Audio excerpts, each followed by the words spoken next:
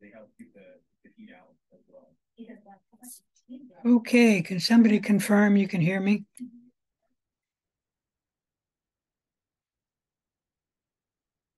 Yes.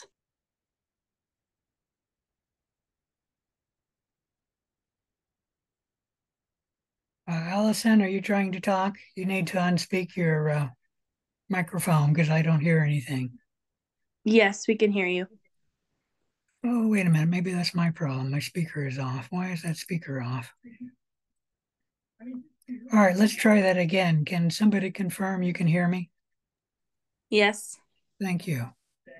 All right, today is May 9th. Sorry for being a little bit late. I uh, just got in and discovered it was this late. I didn't think it was that late. Um, my clock in my car has got to be reset. Um, so May 9th, sorry, I said May 8th. Uh, we should be starting microbial growth. I don't think we're there yet. Let me check on uh, chapter five. I don't think we've finished chapter five. And then there will be a lecture tonight, lab eight. Any questions about what we're doing?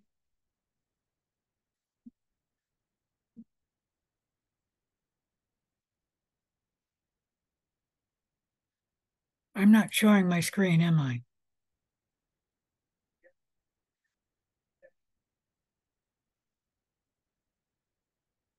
All right, come on.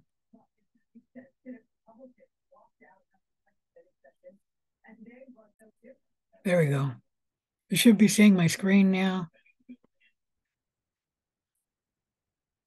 Let's close that. I notice I have a lot of emails. I haven't looked at my emails today, at least not yet. Um, let me start by saying I did a fair amount of grading over the weekend. Uh, let me stop sharing my screen. I'll bring up the uh,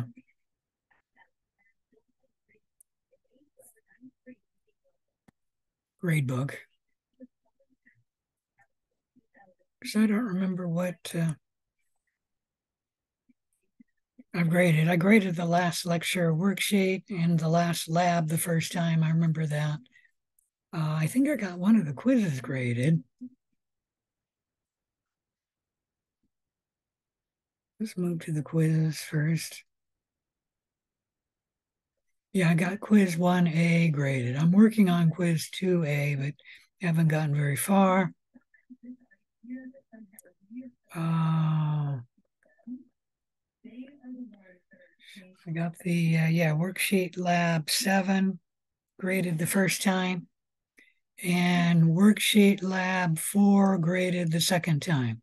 Uh, maybe worksheet lab 3 graded the second time. So all labs are graded the first time. Uh, let me see when I got lab six graded.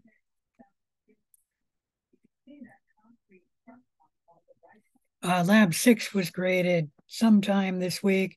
And for the second turning in, you have until May 13th to uh, submit us a lab six again. So both lab six and lab seven will be due this Saturday. Let me go back to lab five just to make sure about that one.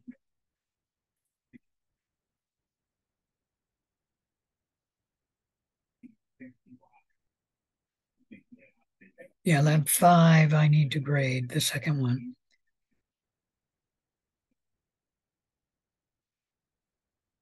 And then the last lecture worksheet was graded. And that would be uh, worksheet lecture five.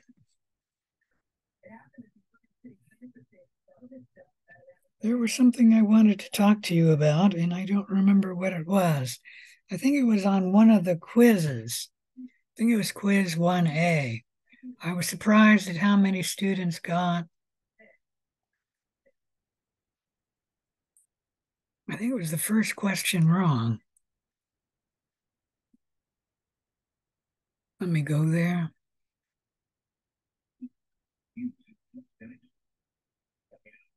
Guess that'll work. Guess I'm not showing my screen. Why is the wearing of sandals and open toed shoes not allowed in the lab? In microbiology, the main concern is dropping cultures, bacteria cultures on your feet. And especially if it's liquid cultures, it'd be a problem. But even uh, a plate, if you drop that on your feet, we wouldn't want you to get bacteria on your toes. Uh, and shoes don't give much protection, but they give a lot more protection than an open toed shoes. We do not really have any sharps, and we don't often use glass in the lab. So, uh, sharp objects being dropped isn't a problem. And we don't really use or hardly use hazardous chemicals. So we're not really worried about you dropping chemicals on your feet either. Those are some of the other answers and in other labs, you know, this is a concern where you're using sharps like a scalpel or a needle. We don't use those in microbiology. And we don't really use hazardous chemicals. About the most hazardous chemical we use is the um, ingredients of the gram stain.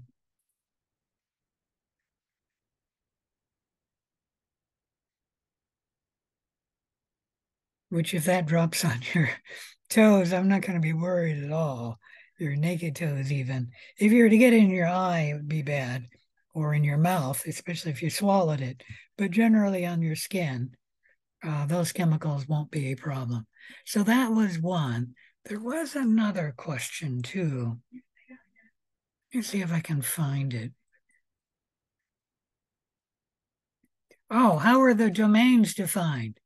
Uh, I mentioned this in class, and I don't know if people are going online or they're just looking it up someplace else, but there were a lot of wrong answers. The domains are defined by the sequence of their DNA, and they usually sequence the rRNA gene, but sometimes they sequence the uh, tRNA gene as well. These genes are in, in all organisms, and that's why they use uh, those genes. Like if they do the eye color gene, well, most animals don't have the eye color gene. So, and then obviously plants don't have eyes. So uh, you can't make the comparison. But with the rRNA genes, you can compare all organisms, all living life forms, by the sequence of their DNA. And if somebody said the sequence of rRNA, that would be correct too, because uh, not rRNA. If somebody said RNA, that would be correct too, because like I said, it's mostly the rRNA gene that we sequence and then determine where an organism lives. Now, this is the modern classification system okay? That's not the older system that used to be used in microbiology. And as I mentioned, a number of microbiologists have been hesitant about throwing away the older microbiology system. But once they die, the older system will go away. And then we'll use the modern classification system based on the DNA sequence to determine the domain. Any questions about any of those? All right, I wanted to mention those because so many people got those questions wrong.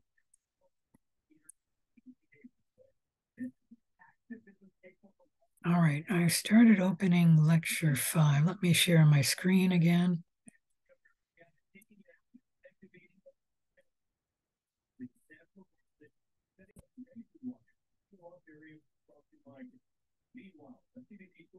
Why did I open this? But oh, there it is. Let's see where we are in uh, chapter five. I've got that we finished talking about aerobic respiration. Is that correct? Anyone?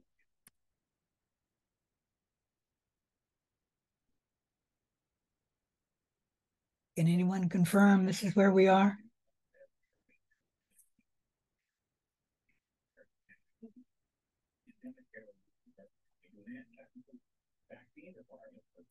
All right, I'm not hearing anything. I'm not sure why that is the case. Um, can people hear me? Yes, and I believe that's where we're at. Okay, thank you.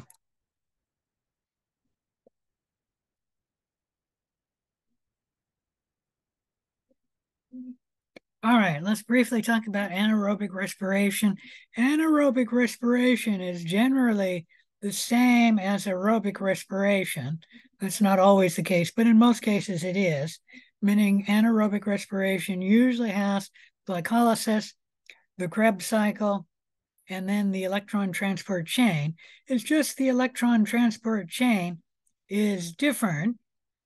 It's usually a little sm smaller than in aerobic respiration, and it has a different final electron acceptor where the electrons do not end up at oxygen. They end up at some other inorganic molecule like nitrate, sulfate. Because the electron transport chain is a little shorter, anaerobic respiration yields less ATP than, an, uh, than aerobic respiration.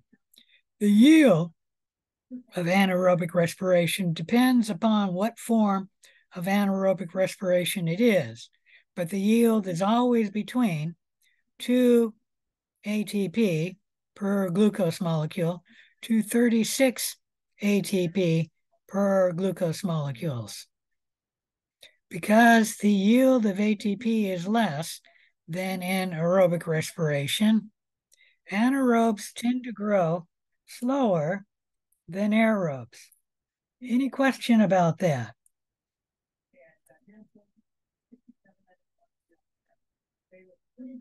All right, that's it for anaerobic respiration. Let's briefly talk about fermentation. It starts out with glycolysis, and glycolysis is how fermentation generates its ATP. And then the uh, Glycolysis is followed by one or two chemical reactions that are the fermentation step of fermentation. But fermentation does include glycolysis. Any question about any of that? So in fermentation, we do generate some ATP, but not much. We only generate two ATP per molecule of glucose. Any questions? And those two ATP are generated in glycolysis. They're not generated in the fermentation step. In fermentation, you switch the glucose to two pyruvic acids. You do get a net gain of two ATP, you do generate one NADH.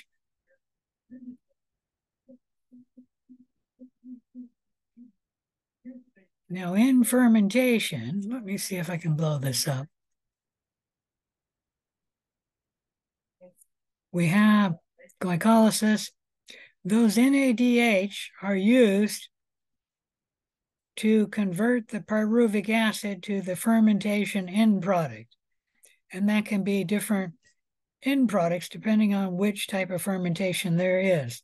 There's five or six different fermentation end products. Now, our muscle cells can use fermentation to make ATP when oxygen becomes limiting. And that happens when the muscle is working heavily and the blood and the heart and the lungs are unable to get enough oxygen to the muscle. Rather than to stop working because there's no ATP, the muscle falls back on fermentation. And with glucose, we generate 2 ATP. Uh, we use in our muscles lactic acid fermentation. And the NADH, which is generated in glycolysis, is then used in the fermentation step. to make uh, change pyruvic acid into lactic acid. Uh, why do you think the muscle cell uses up this NADH to make lactic acid, where if the muscle cell were to just keep NADH around, uh, eventually oxygen would come to the muscle cell, and then the NADH could be passed on to the electron transport chain, and you generate a lot more than 2 ATP that you generate from fermentation. Can anyone guess why the muscle cell uses up this NADH in fermentation? Come on, people. Nobody's going to guess? I will tell you on this one because it is kind of important. Um, the NADH is used up to create NAD plus. If you don't have any NA, NAD plus in the cell, you cannot perform glycolysis. And then you will not generate the 2 ATP. Okay? So that's why the muscle cell doesn't just store the NADH. Because if it were to store the NADH, it would generate more ATP by the electron transport chain of aerobic respiration.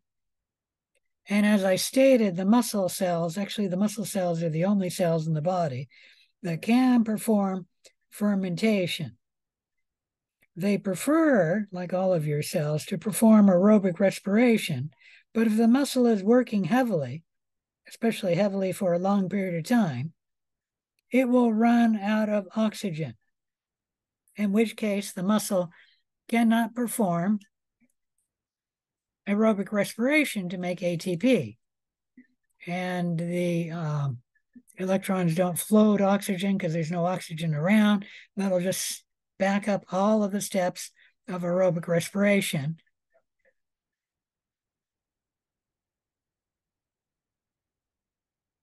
and sooner or later, even glycolysis will stop because uh, uh, you either will run out of NAD plus or you'll run out of glucose, and then glycolysis will stop.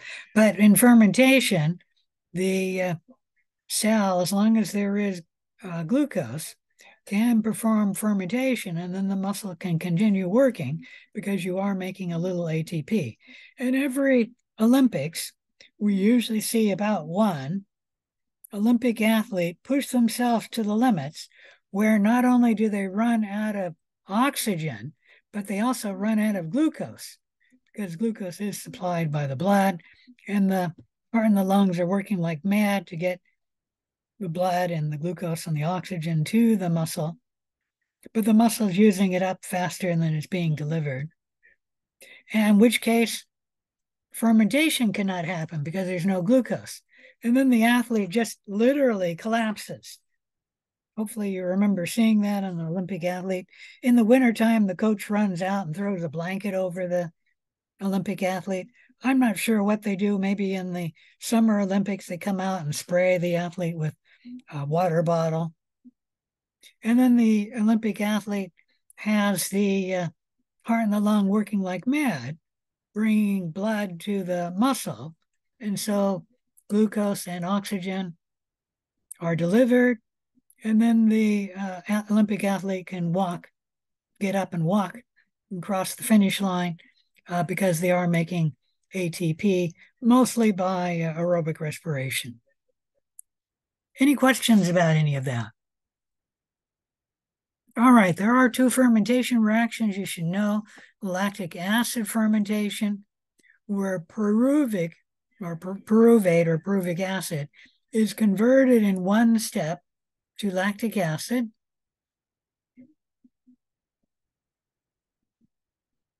Uh, not only do our muscle cells use this, but a lot of other organisms use it, including organisms uh, that create sauerkraut, yogurt, sourdough bread, or at least some of the parts of sourdough bread. Uh, many of other other fermented foods, like most cheeses, like cheddar cheese. Uh, lactic acid helps to prevent food spoilage. Sauerkraut, if you don't know, uh, can last a long time, even if you don't refrigerate it. Oops, didn't mean to do that. Oh, come on. Uh, the other fermentation reaction you should know is alcoholic fermentation, where the pyruvic acid is converted into uh, ethanol. This takes two steps. And CO2 will be generated because pyruvic acid is a three carbon molecule, uh, ethanol is a two carbon molecule. And that CO2 coming off gives beer its fuzz or bit, uh, bubble, what do you call it, fuzz. And if you uh, in wine you don't get the uh, the uh, bubble because it's made in an open casket or an open barrel, and so the CO two just uh, goes to the air. But if you were to make the wine in a bottle and cap the bottle, we call it champagne, and that's why champagne is bubbly. Okay. Any question about any of that? Uh, alcoholic fermentation is how we make leavened bread with uh, yeast.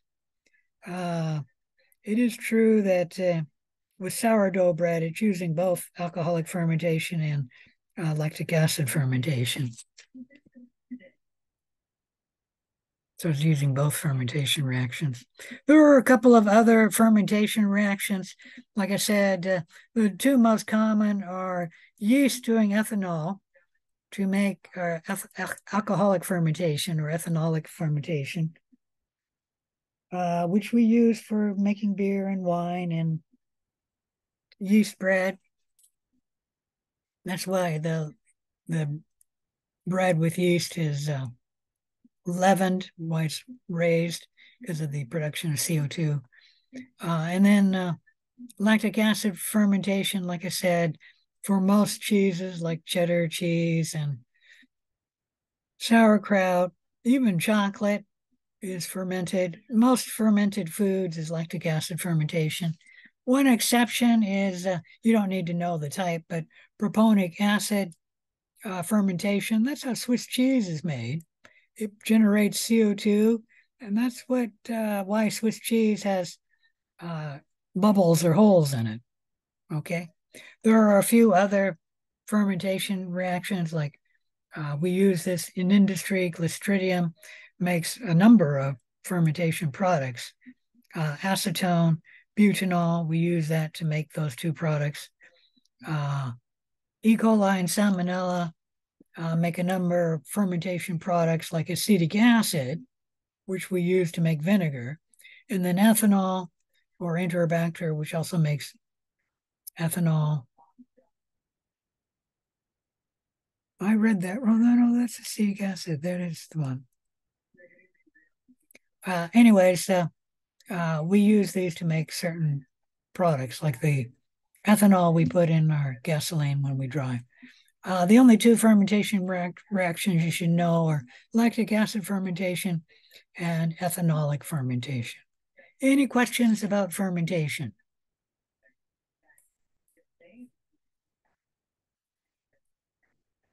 All right, these are, uh, you don't need to know this table, just showing you some of the different fermentation end products, the industrial use, why we use ethanol, uh, making beer, wine, the ethanol in our car, acetic acid fermentation making vinegar, lactic acid fermentation, most making most fermented foods. The exception is Swiss cheese.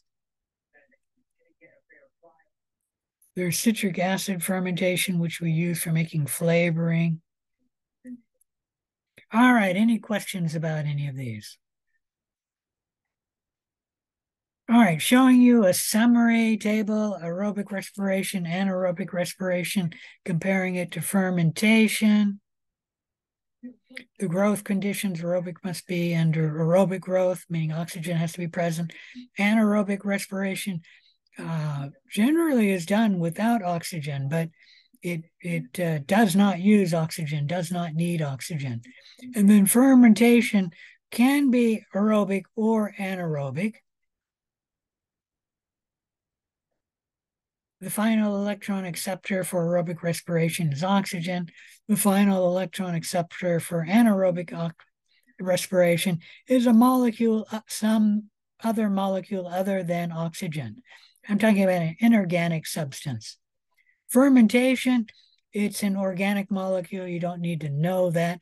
Most of the time, it's actually pyruvate, which takes the electron. And then the generation of ATP, you don't need to know about that one. Uh, for ATP, for eukaryotes, we get 36 to 38 ATP molecules for aerobic respiration, depending on what cell it is. For prokaryotes, we get 38 ATP molecules per molecule of glucose. For anaerobic respiration, it's more than two, but fewer than 38. And then fermentation, you only get two ATP per molecule of glucose. Any questions apart about uh, fermentation or uh, respiration? Respiration is both anaerobic and aerobic respiration. All right, carbohydrate is generally used as the food source for providing energy, and microbes do this as well as people. However, microbes and other organisms, including people, can use other molecules, such as proteins and lipids. There is a problem that large molecules cannot cross the cell membrane, and both our cells and microbes deal with this by uh, making secreting enzymes extracellularly and then digesting the large molecules outside the cell, and that's with lipases and proteases, making the monomers, which for proteins would be amino acids, we can then move across the cell membrane utilizing a transport protein and uh, come into the cell, and then the cell can use that for respiration, usually aerobic respiration, at least in people.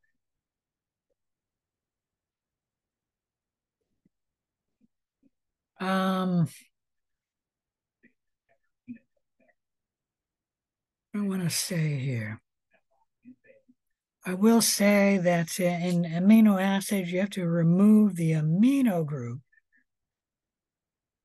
And then the remaining part of the amino acid is used in some part of the Krebs cycle. I think the slide shows it here. Let me blow that up. So for carbohydrates, usually they're broken down into sugars. The sugar is then converted into glucose, and then glucose enters aerobic respiration in the normal fashion, starting with glycolysis. For proteins, uh, they can be, depending on which amino acid it is, converted into pyruvic acid in uh, glycolysis and then uh, entering the Krebs cycle, or they can be uh, broken down into a substrate of uh, the Krebs cycle. For lipids, the glycerol, uh, the lipids are broken down into glycerol and the fatty acids. The glycerol joins glycolysis midway through. The fatty acids are broken into two carbon chunks, converted into acetyl coenzyme A, and then generate, uh, enter the Krebs cycle in the normal way the point is, is that all food items, proteins, carbohydrates, lipids, as well as nucleic acids, can be utilized to generate ATP. The cell, for most of us couch potatoes, will generally convert the food into a carbohydrate and then send uh, convert the carbohydrate into glucose and then send the glucose through aerobic respiration in the normal way. It's true if you have a high protein diet or high lipid diet. That's for couch potatoes. That's not true for like an Olympic athlete or a marathon runner. But in the marathon runner, they can digest lipids directly. And I think I've stated this before, but they do not digest lipids until 45 minutes into the marathon run. For the first 45 minutes, they are digesting uh, glucose and uh, carbohydrates for the first 45 minutes of the marathon run.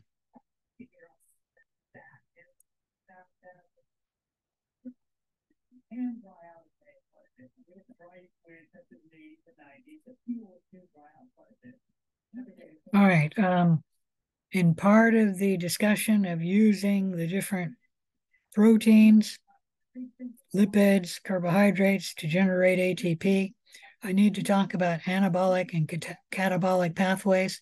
I've talked about them as being distinct and separate pathways. In reality, they are not that.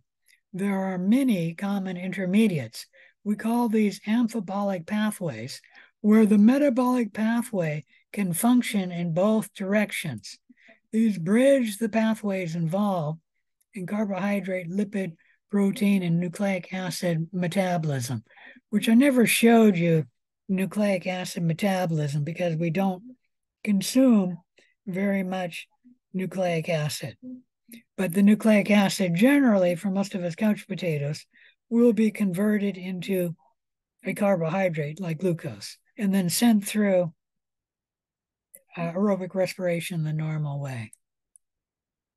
Uh, this is showing you the amphibolic pathways wherever you have a double, come on, mouse, chain. That means the pathway can go both ways. So in the Krebs cycle, as you can notice, it tends to come in with acetyl coenzyme A and then go this way, but it doesn't have to. Like, for example, if you have certain amino acids, and these amino acids, it's only some amino acids. Some amino acids can come in, uh, besides here, they can come in these steps here and maybe even one up there. Nope. So they're all right here or right there. But this amino acid will be converted on, into oxaloacetic acid. And instead of going through the Krebs cycle this way, we can actually go backwards make acetyl coenzyme A, go backwards through the glycolysis. And I don't know why, but that should be uh, uh, going both ways. And then that is how a couch potato will eat a high protein diet and then make glucose. Of course, some of the amino acids will come in the Krebs cycle here, and then we'll go backwards. And then if you were to eat a high carbohydrate diet or even a high protein diet, and you would not utilize enough of that protein, meaning you're eating too much, what are you going to do? You're going to store that down. And although initially it'll be stored down as glycolysis in your liver, uh, once you've stored enough down, uh, what are you going to do? You're going to convert that into a lipid, and then you'll store it down as fat. And so this protein will be broken down in amino acids and then will come this way. And this also is not showing uh, two uh, ways. Actually, that one is shown two ways, sorry. And then we'll come this way. Now that I think see this, that is two ways. There's an arrow going that way and an arrow going that way. So that is going both ways. It's just a little different. And same with this fatty acids to make lipids, and then that high protein diet will be stored as lipids. And that's true of carbohydrates too. They'll be converted this way, converted into fat, and then stored as lipids. Any question about any of that? And this is what humans can do. It's pretty good. We're going essentially backwards at every step of uh, the Krebs cycle and glycolysis. Green plants are even much better than humans, and, and microbes generally are much better at humans in going uh, both ways in the chemical reactions. The point is, is that the amphibolic pathway bridge um, catabolism and anabolism. So we're starting with an amino acid. We can convert that into part of the Krebs cycle, go backwards, make glucose, and then make the glucose go and makes, uh, well, actually, in plants, it'd be glucose to starch. Humans don't make starch that I know of. Uh, what we do is we make, um, let's see, glycolysis? No.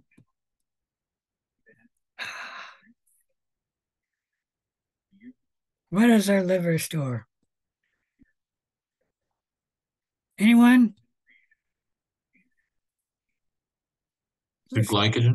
Glycogen, thank you. All right. So uh, that is the amphibolic pathways. Let's briefly talk about photosynthesis.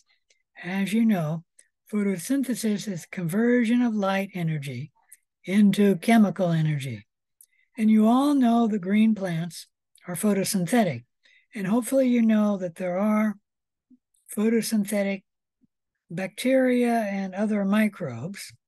And some of them are green, meaning they have chlorophyll to make them green, but some of them are photosynthetic and they have an, another color, um, photosynthetic pigment. And actually, green plants, at least leaves, I don't know about other green green uh, plants, but at least tree leaves, we have a yellow photosynthetic pigment, and you can see that yellow color in the fall.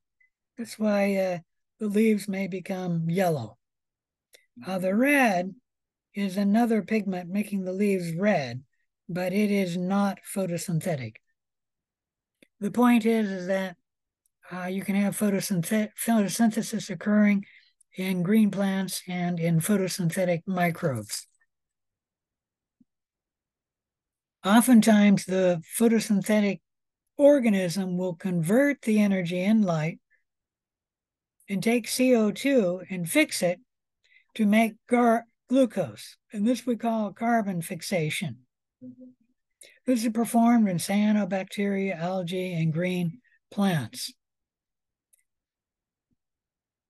And without this, animals and microbes would not have an organic chemical molecule like glucose to eat. So it is required by herbivores. You need photosynthesis to make the glucose, fix the sunlight and convert that energy into chemical energy. What you probably don't know is there are two uh, photosynthetic reactions or two types of photosynthetic reactions. There's cyclic photosynthesis and non-cyclic photosynthesis. The photosynthetic reaction you've probably seen in the past is non-cyclic photosynthesis. When we generate oxygen, you do need to know this one. Uh, we take six carbon dioxide molecules and 12 water molecules plus light, and you need the um, uh, photosynthetic pigment like uh, chlorophyll to make glucose and six O2 molecules and six water molecules. Oftentimes they'll remove the six water molecule and reduce six water molecules here. I prefer showing 12 water molecules because when we look at where these 12 oxygen atoms come from, the six oxygen water molecules, the oxygen all comes from water. And so you need the 12 water to show where the oxygen came from. None of the oxygen comes from CO2. And uh, that's almost similar to photosynthesis, I mean, aerobic respiration, but we'll skip that. Uh, there is another non cyclic photosynthesis reaction generating glucose. It starts with hydrogen sulfide gas and it produces sulfur. You don't need to know this reaction. I won't test you on it. You should, however, know about cyclic photosynthesis. In cyclic photosynthesis, the energy coming from light is converted into the energy that is stored as ATP, meaning the light energy phosphorylates or adds a phosphate group to ADP to make ATP. And this is all cyclic photosynthesis needs. Most, if not all, photosynthetic, photosynthetic organisms like green plants, cyanobacteria, can perform both non cyclic photosynthesis and cyclic photosynthesis. They will engage in non cyclic photosynthesis if they want to make glucose. And if they want to make ATP, they will engage in cyclic photosynthesis. Any questions about any of that? Uh, Are the plants the same way? Say again? The plants can engage in both as well? Yeah, green plants can engage in both photosynthetic uh, reactions, both cyclic and non cyclic, depending on what they need. If they need ATP, they engage in cyclic photosynthesis. If they need glucose or they want to store the glucose, then they engage in non cyclic photosynthesis. Let's talk a little bit more about non, I mean, uh, cyclic photosynthesis. Uh, light excites the electrons from chlorophyll. And that happens in the photosystem one. You don't really need to know that. But the electrons flow out of the chlorophyll. The electrons flow to this protein in a membrane, to this protein in a membrane, to that protein in a membrane. And then they flow to this protein in the photosystem and then they return to the chlorophyll. That is why this is called cyclic uh, photosynthesis or cyclic photophosphorylation, because the electron flows in a cycle. It ends up where it started. Along the way, the electron gives this protein the energy it needs to pump hydrogen ions from this side of the membrane to that side of the membrane. This hydrogen ions then makes a two-fold gradient. There's more hydrogen on this side of the membrane than that side. There's more positive charges on this side of the membrane than that side. The hydrogen ions will want to move by diffusion from this side of the membrane to that side of the membrane, but they can't move through the lipid bilayer of the membrane. And what do they do? They move through this channel protein. And as the hydrogen ions move through the channel protein, it gives the protein the energy it needs to make ATP. So this channel protein is ATP synthase, an enzyme which makes ATP. And that is how cyclic photosynthesis makes ATP. For uh, eukaryotes, this is going to be the inner membrane of the chloroplast. And that will be in the space in between the inner and the outer membrane of the chloroplast. In uh, prokaryotes, this membrane is the cell membrane. And this will be outside the cell, like the cell wall and uh, the hydrogen ions will move back into the cell through this channel protein, which is in the cell membrane. All right, any question about any of this?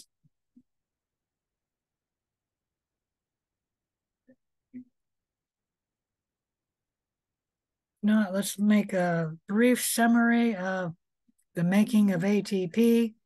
The energy source can vary. For photosynthesis, the energy source can come from the sun, the light energy in the sun. For organisms which metabolize glucose, the energy comes from glucose or some carbohydrate that's converted into glucose or some other molecule that's usually converted into glucose, although that might not be the case. The electrons then flow. There can be different electron carriers. We're not going to talk about that one. This one's only seen in, in photosynthesis. These are seen in aerobic respiration and anaerobic respiration. Some of them in, are NADH in uh, fermentation as well. The electron acceptor can vary. For aerobic respiration, the electrons flow towards oxygen. So that's the final electron acceptor. In anaerobic respiration, the electrons flow to an inorganic chemical compound like nitrate, sulfate, or iron. Uh, and then you can have the electrons flow to an organic common compound. That's fermentation. And then, of course, with uh, cyclic photosynthesis, which is not shown here, the electrons flow back to the chlorophyll. So they return from where they started. Any question about any of that? All right, that's it for chapter five. Let me begin chapter six.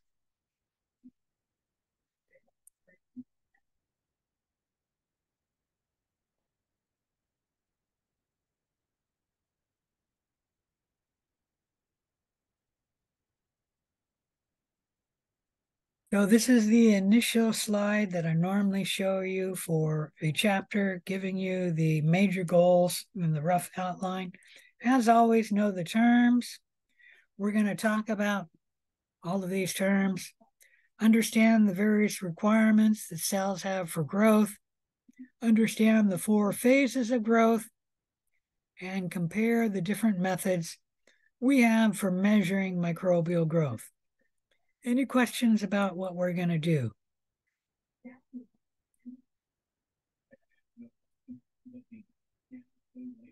Let's see if this will work.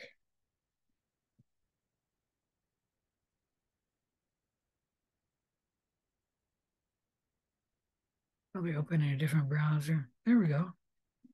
Bacteria reproduce very simply and rapidly by doubling their contents and splitting in two. Just one bacterium, dividing every 20 minutes, could produce nearly 5,000 billion billion bacteria in one day. All right, any questions about any of that?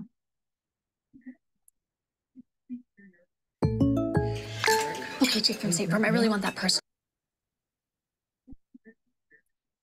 All cells have various requirements for growth. We're going to talk about microbes and their requirements for growth. Cells have physical requirements and chemical requirements. The physical requirements re- include the temperature the cell requires to grow, the pH the cell requires to grow, the osmotic pressure or the salinity the cell requires to grow.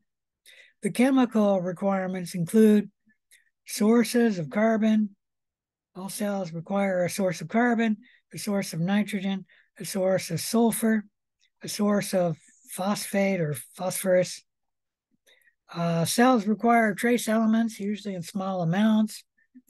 Cells may require oxygen. They certainly have an oxygen requirement, meaning even an anaerobe that cannot survive with oxygen present, that's its requirement for growing, and that is the absence of oxygen. And then some cells have organic growth factors. These would be biological molecules that the cell requires to grow. Vitamin C would be a organic growth factor that humans require to grow. Any question about any of that?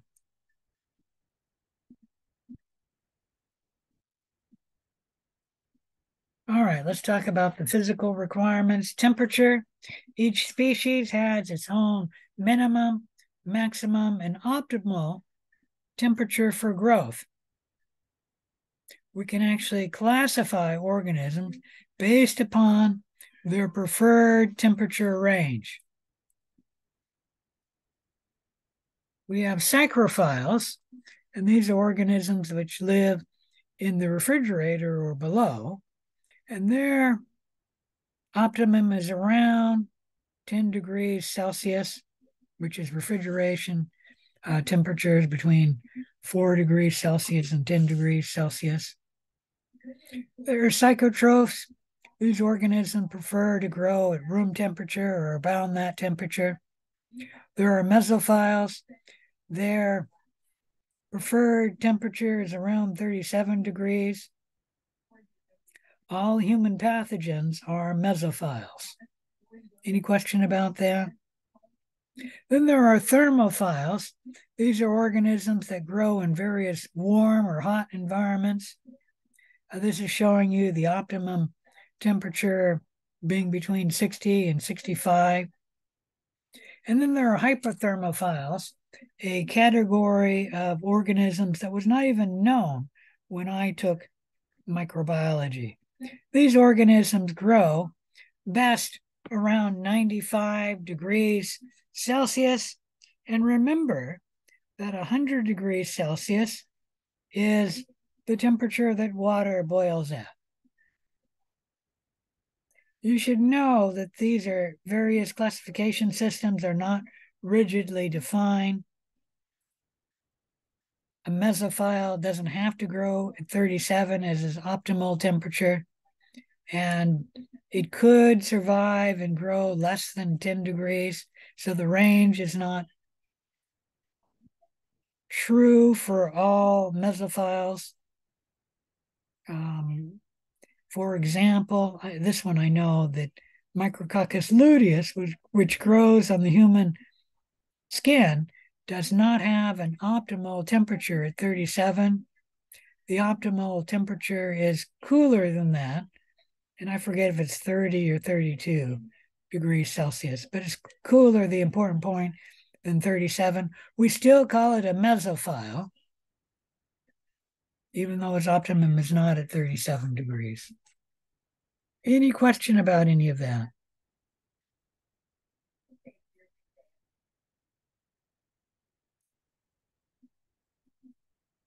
All right.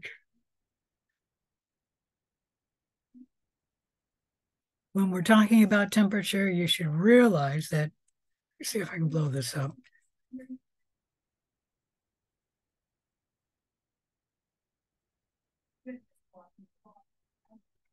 Uh, there is a temperature range that we call the danger zone, where if food is left out uh, and microbes can grow in it, after just a few hours, the food can become contaminated. And this is between generally about 15, 16 degrees Celsius to 52 degrees Celsius, which is something like 60 degrees Fahrenheit to close to 130 degrees Fahrenheit, where we have rapid growth of bacteria. Some of these may produce toxins, so even if we put the food in the refrigerator, the toxin is there and it can be toxic to you. Uh, above those ranges, we have a narrow range where bacteria can grow although slower. And then below that, we have a range that bacteria can grow, although slower. And as you can notice, bacteria can grow all the way down to zero degrees. Uh, generally, at zero degrees, we have no further growth below zero because the cell freezes and there can be no metabolism, no cellular growth, if the cell is frozen. Now, for uh, some organisms that live in cold environments, they will produce an antifreeze and they can grow at lower than zero degrees Celsius because they produce an antifreeze. They're not frozen at that temperature. But if you cool it further, eventually that cell will freeze, and then metabolism will stop. Any question about any of that? Um, food spoilage usually happens when the food is not put in the refrigerator soon enough, or it is too slow at cooling, such as when you put it in a big batch and you freeze the large batch, the food inside the batch will will cool at a slower rate, and then the bacteria may grow in a big batch. Uh, in a smaller batch, the food can co- cool quickly, and so in about an hour, uh, we get the bacteria uh, not growing. Depending on what the bacteria is and how quickly the food cools. All right. Some other physical requirements include the pH. In the lab, most microbes grow best around pH 7. So we say the range is somewhere between pH 6 and pH 8. And below that range, the microbe usually grows slower if it grows at all.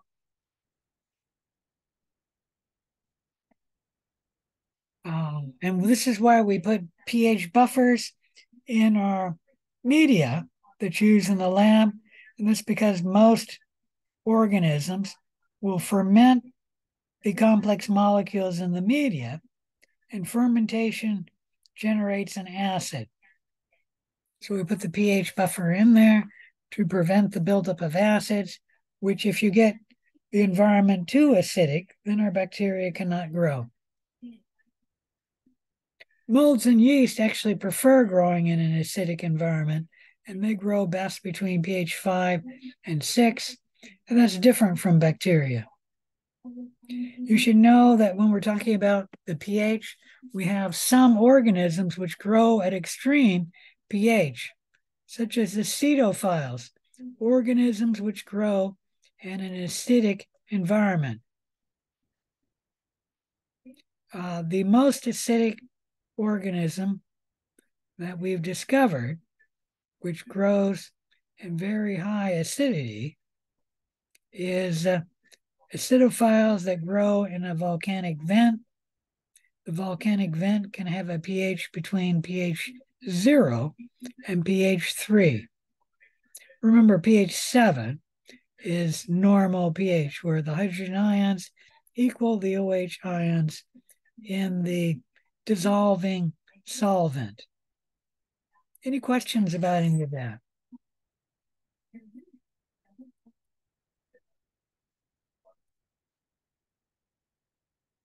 Microbes require a certain amount of salinity, which usually results in a certain osmotic pressure, but you could have osmotic pressure from something other than table salt. You could have it from like sugar. And when you dry fruit, we actually can pervert, preserve that fruit because of the high sugar content and the low moisture content of the dried fruit. The high osmotic pressure removes necessary water from a cell. Let me show you this. So initially the cytoplasm is up against the cell wall. When you put it in a hypertonic environment, where the solution concentration is much higher outside than inside the cell, water will flow out of the cell like this, resulting in plasmolysis, where osmotic pressure has the water leave the cell, and then the cytoplasm scrunches up, moving away from the cell wall to in here. And that can kill cells where cells like E. coli and most other gram negative rods, if they don't have an endospore, the cell can easily dry. It depends how many cells you have, but let's just say in a day or two, most of the cells will die under high osmotic pressure. So we can use high osmotic pressure to preserve food, such as, like I said, dried uh, fruit,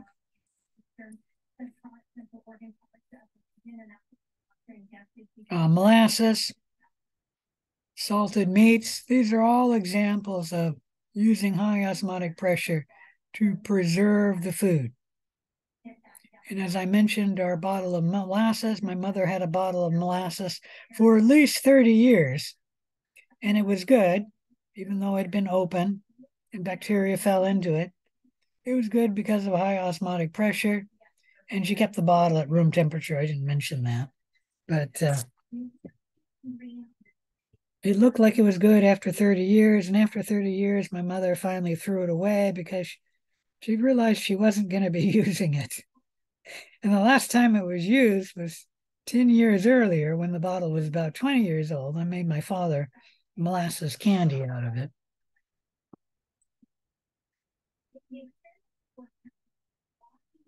Uh, halophiles are organisms which grow in high salt.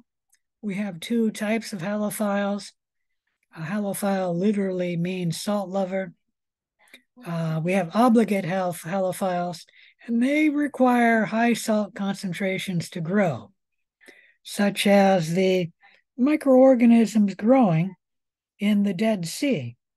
They tend to be obligate halophiles, and they have the highest salt concentration possible because if you don't know, the Dead Sea can reach 30% sodium chloride. That's as high as you can get in uh, water, at least at standard temperature and pressure. Above that, the salt will precipitate out of solution. Anyways, there are obligate halophiles. They require high salt solutions to grow. And then there are facultative halophiles. They do not require high salt concentrations to grow, but they can tolerate greater than 2% sodium chloride. And the facultative halophiles can grow up to 15% sodium chloride. And you can go higher than that, like um, Staphylococcus aureus is usually called a, a facultative halophile because it does not require high salt concentrations to grow. It can grow in at least 1% sodium chloride and maybe less. I've never tried, but it does grow on tryptic soy agar, which is it's actually 0.0 let's see, 0.9% sodium chloride, which is isotonic. And sodium chloride can grow. I mean, not sodium chloride. Staphylococcus aureus can grow, and it can grow on your skin. And our skin can be up to 20% sodium chloride. So Staphylococcus aureus can grow up to 20% sodium chloride.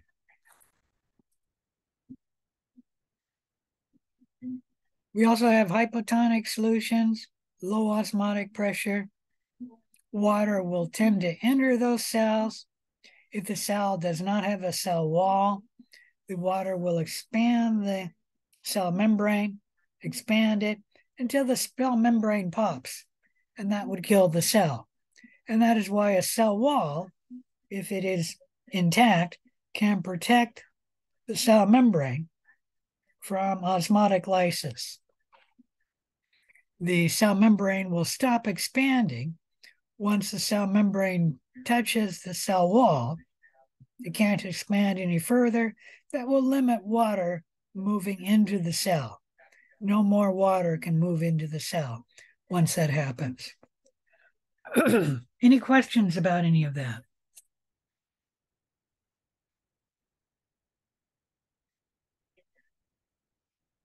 Okay. Carbon is a chemical requirement. All cells require a carbon source. Typically, half of a cell's dry weight is from carbon. The dry weight is the weight of the cells once the water has been removed. So, regardless of what the cell is, half of the dry weight typically is carbon. Cells use carbon as structural organic molecules. Use carbon for an energy source. I mean, we use glucose, for example, and we burn the glucose, burning the carbons. Uh, heterotrophs use an organic carbon molecule. Autotrophs can get their carbon directly from CO2, either in the air or the CO2 dissolved in the water.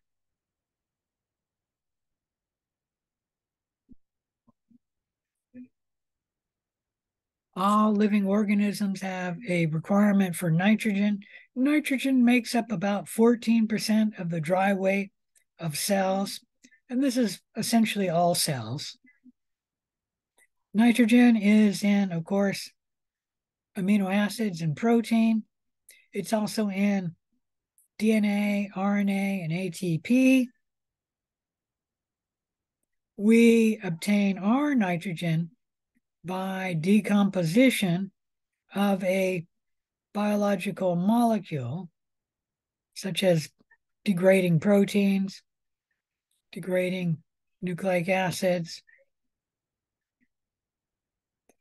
But many bacteria can get their nitrogen directly from ammonium ion, or some from nitrate ion, or some other nitrogen source. A few bacteria can even use nitrogen gas that they get from the air, and these we call nitrogen fixing bacteria. They pull nitrogen down from the air and then make that nitrogen available to other organisms in the soil or in the ocean, wherever the microbe is. And usually, what happens is that organism will take the nitrogen gas, converted into a nitrogen compound like amino acids, and then uh, and they may use an intermediate like making a nitrate group and then using that to make the organic chemical compound. And then uh, the nitrogen becomes available when that cell dies. And then other organisms can use that nitrogen source all right, any questions about nitrogen? Sulfur, another chemical requirement. We need sulfur in certain amino acids like cysteine and methionine. Uh, sulfur is also required in thiamine and biotin. These are two B vitamins. And we have sulfur in uh, DNA and RNA.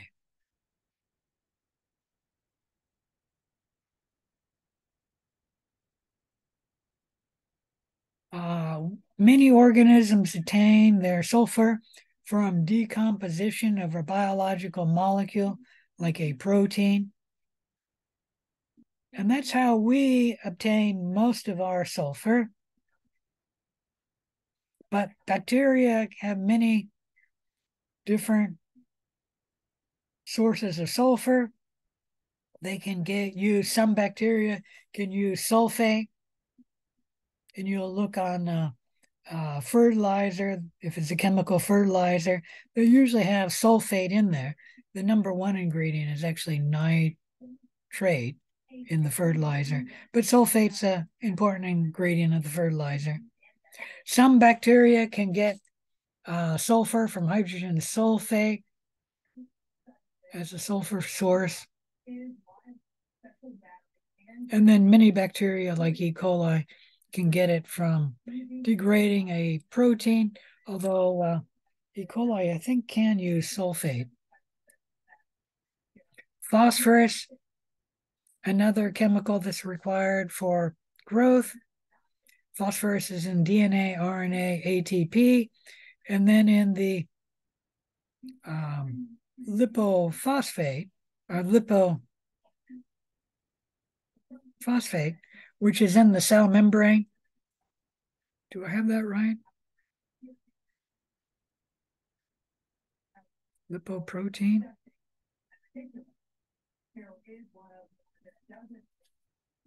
Uh, most organisms can use phosphate as their source of phosphorus, including humans. We can use phosphate. Phosphate.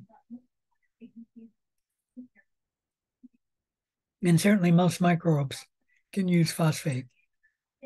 You could get phosphate from either DNA, RNA, or ATP.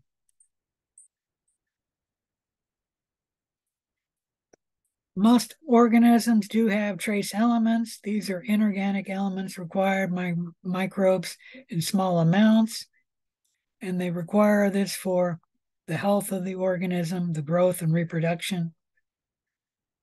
Most microbes, as well as people, get their trace elements from their environment, like we get our trace elements from the food we eat and the liquids we consume. An example being what is that they put in table salt? I'm dropping a blank here. Iodine. It's iodine. Thank you. Uh, we get that from salt, iodized salt, and uh, it's a trace element. If you live in an environment where you get iodine in the soil or in the water, you could get it from the soil or the water. But we're in Western Washington or Western Oregon, and because of all of the rain, our soil is low on iodine. And so we do need a source of iodine. We would not get enough trace iodine if we were to only eat food grown in our own soil. Uh, the trace elements are often required as enzyme cofactors. Some example of trace elements that are required include iron, copper, and zinc. And then the example I gave was iodine. All right, any question about the trace elements? Let's talk about organic growth factors. These are biological molecules that are required by an organism in order to live and reproduce so you need the organic growth factor to maintain your health. Without it, you'd get sick and then die. Uh, organic compounds are usually obtained from the environment. Uh, we get our organic growth factors from the food we eat and sometimes from the liquid we drink, like orange juice uh, provides vitamin C. You could also eat the orange, that would be from the food we eat, or pineapple for vitamin C. Most of the vitamins are growth factors. There are a few other growth factors. Uh, sometimes essential amino acids like lysine is an essential amino acid for humans. So that would be a growth factor. We have to get that in our diet. And usually we have enough protein that we get lysine in our diet. And there are some essential fatty acids that we must get in our diet. And if we don't get these growth factors, we'll get sick and then die. An example being vitamin C, as well as most of the vitamins. There are a few exceptions, though, like vitamin D. We can make, assuming we have the precursors, and we get exposure uh, of our skin to the sun.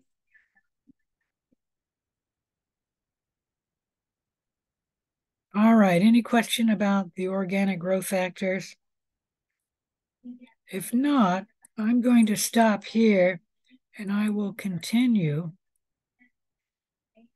uh, with this lesson next time. And I'll see you at 6.30 for the lab.